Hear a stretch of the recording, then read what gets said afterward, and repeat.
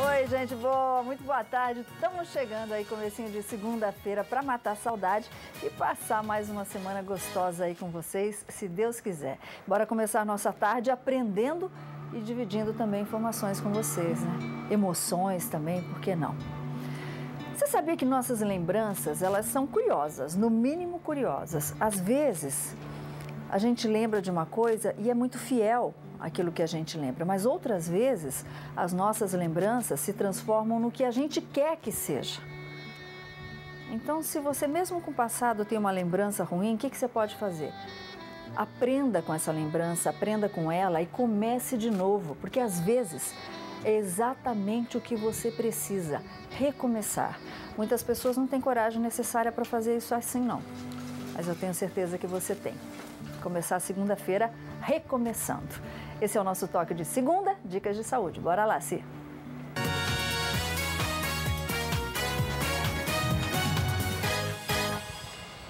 O pessoal pode participar de montão, né? Boa semana, Luquinha. São Boa semana para você também, sol para todo mundo em casa. Gostoso, viu? Conversar com vocês, passar a semana e dar licença para gente entrar aí na sua casa, né? Você que acabou de almoçar ou está almoçando. Hum. Que bom a gente fazer companhia para você. E você pode conversar com a gente pelo 99711 1313, opção 1, depois você digita 1 novamente. Com a Solange, você pode falar ao vivo no 3922-387 e comigo aqui no facebook.com barra falando nisso Band. Lembrando que ainda hoje você consegue participar dessa super promoção que é tão simples. Você vai no nosso Face e você vai curtir e compartilhar a foto desse óculos da Visótica que a gente vai pôr para você. Procura por essa foto mesmo, tá gente? Achou essa foto? Aí você já pode pegar e compartilhar, vai estar concorrendo. No final do programa de hoje, a gente vai mostrar para vocês aí, vai sortear e falar então quem é o campeão, quem é a vencedora, o sortudo, né? E Solange, sabe que é legal que pelo Face, além dessas promoções que o pessoal pode participar, pode sim dar dica também pra gente de assuntos, como fez a Laide Souza, que está vivendo uma situação sobre esse assunto que a gente vai conversar hoje. E aí tá aí, Laide, a gente vai conversar hoje o programa inteiro sobre o assunto hoje. Pois é, né? a Laide está muito preocupada com um amigo dela que está internado pelo seguinte: ele teve aneurisma cerebral. Ele tinha muita dor de cabeça, enxaqueca. Podem ser sinais aí de aneurisma cerebral? A gente vai conferir agora com o nosso entrevistado, o nosso querido doutor Mário Jorge, que é neurologista. Obrigada, viu, doutor, por estar aqui com a gente hoje, falando dessa coisa que deixa todo mundo muito preocupado. O doutor trouxe fotinhas para a gente entender direito o que, que é o aneurisma cerebral. A gente vai mostrar para vocês daqui a pouquinho.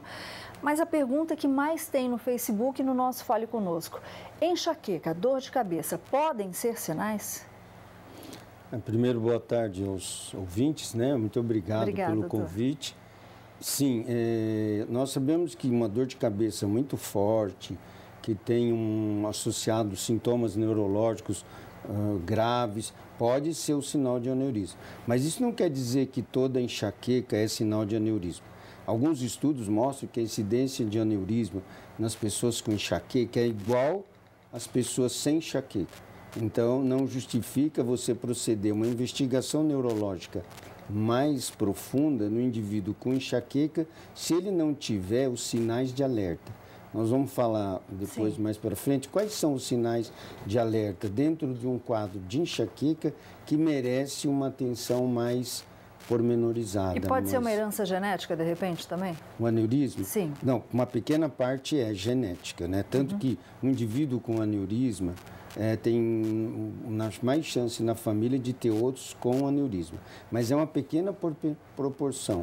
A maioria dos aneurismas são adquiridos ao longo da vida. Eu nunca tinha visto uma foto, o doutor mostrou, é bem interessante, a gente vai dividir já já com o pessoal de casa, né, Luquinha? Só, a Marlene Justino diz que ela sempre tem muita dor de cabeça na verdade ela fica com medo até de ser algum neurisma. Como que ela pode saber se é ou não neurisma? E tem algum remédio, até esses remédios que a gente toma quando está com dor de cabeça, eles podem maquiar, disfarçar neurisma ou não? não todo analgésico, Lucas, pode mascarar uma dor uhum. de cabeça mais séria. Uhum. Por isso que a gente sempre orienta, a Sociedade Brasileira de Cefaleia, uhum. os neurologistas orientam para não fazer automedicação. Isso mesmo que você falou, pode estar mascarando uma dor de cabeça que precisa de uma investigação. Agora, A dor de cabeça associada a vômito, perda da consciência, a pessoa desmaia ou paralisa algum lado do corpo, essa sim merece uma investigação mais aprofundada.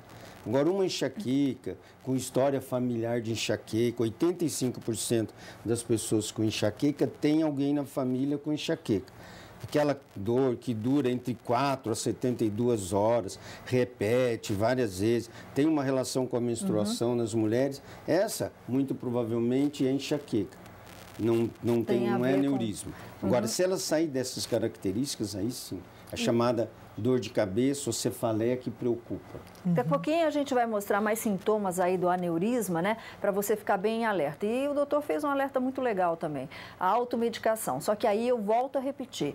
Eu culpo também, e culpo mesmo, uh, os comerciais porque tem muita indução para você comprar analgésico e depois é que aparece a frase não desaparecendo sintomas, procure orientação médica. Quer dizer, você não deve procurar depois de tomar um remédio. Você deve procurar um médico para poder ser ministrado aí algum medicamento. Né? São dicas que você vai poder conferir no programa de hoje, por isso continue com a gente. Mas agora a gente faz aquela paradinha para assistir as notícias da redação.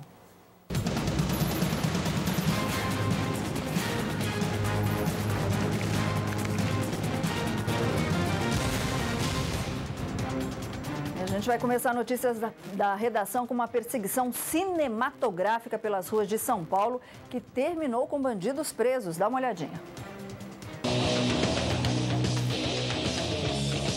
Cenas que até parecem um filme de ação foram mostradas ao vivo na tela da Band durante o Brasil Urgente do último sábado. Não é o carro procurado pela polícia? A perseguição começou depois que três bandidos que haviam roubado o carro na noite anterior usaram o veículo para cometer um outro crime em um posto de gasolina da zona norte de São Paulo. Desceu armado, os três abordando, nós dois sem tempo de reação, sem nada, levou as duas motos lá. Enquanto dois ladrões escaparam usando as motocicletas, um terceiro bandido fugiu no carro, mas foi seguido por PMs que passavam pela região. Vai na contramão, alta velocidade! Durante a fuga, o criminoso fez manobras arriscadas e causou acidentes. Olha, bateu! Bateu agora! O helicóptero da PM ajudou nas buscas pelo bandido que tentava escapar por ruas pequenas e quase atropelou um homem. Olha, quase bateu no cara lá. Por diversas vezes, os militares tentaram bloquear o caminho. Repare que neste momento o fugitivo quase bate de frente com o carro da PM. Agora vai pegar! Vai bater o carro! Depois de 15 quilômetros de perseguição alucinada, o criminoso perdeu o controle do carro em alta velocidade, bateu contra o muro e o veículo girou na pista. Bateu! Bateu o carro! O ladrão ainda tentou dirigir por mais alguns metros. O cara quer andar com o carro batido? O cara é maluco! Flagrante do Brasil urgente na tela da Band. Um ladrão roubou um carro agora há pouco, bateu no poste, vai bater do outro lado agora. Flagrante do Brasil urgente. Você vê ao vivo o policial com arma em punho. Está imobilizado agora. O ladrão está imobilizado agora, lá na zona norte de São Paulo carro que ficou com a frente destruída havia sido roubado na madrugada de sexta em um estacionamento de uma lanchonete na zona sul da cidade. Apontaram a arma, levaram o meu relógio do meu amigo e o carro. Saíram rápido, e não vi mais nada. Graças a um dispositivo localizador, policiais encontraram as motos que haviam sido levadas pelo bando, mas dois bandidos permanecem foragidos. Segurança zero, simplesmente isso que eu tenho para dizer para vocês. E o corpo do ator e diretor José Wilker, que morreu aos 66 anos de idade, vítima de um infarto fulminante, foi cremado no final da tarde de ontem no Rio de Janeiro. Durante todo o dia, amigos, fãs e familiares se despediram do artista no Teatro Ipanema. Dia de despedida. Dia triste para o cinema, para o teatro, para a televisão. Saudade também para aqueles que só tiveram a oportunidade de vê-lo nas telas. Excelente ator, verdadeiro, dinâmico, alegre. No currículo de Beth Faria, não há ninguém com quem ela tenha contracenado mais.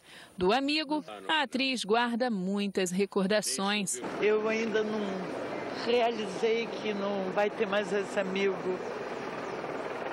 para conversar, para falar, para telefonar, para estar no set de filmagem. A atriz Guilhermina Guinle, ex-mulher de Wilker, também foi dar o último adeus ao amigo. Para o diretor José Bonifácio Sobrinho, Boni, a morte do amigo foi uma grande surpresa. A gente pensa que os mais velhos precisam de mais cuidado, de repente a gente é surpreendido com uma coisa dessa. Né? E o Dias me disse há 40 anos atrás que, que viu que seria uma das pessoas mais importantes da televisão. E ele foi mais do que isso, foi um, grande amigo, uma pessoa com aquele abraço afável, aquele sorriso maravilhoso. Então a gente pensa que vai acontecer alguma coisa de um lado, acaba acontecendo de outro. Surpreende a gente. Surpreende mesmo, né, Luquinha? Está eternizado aí em toda a sua obra, né, Lu? Muito triste, viu? Realmente um cara que amava o que fazia e a gente que assistia gostava muito, né? A gente vai rapidinho para o intervalo, deixando uma dica para você hoje que for viajar. Pode ir tranquilo que todas essas estradas estão com trânsito fluindo aí, bem legal. A gente já volta então tirando a sua dúvida, não sai daí não.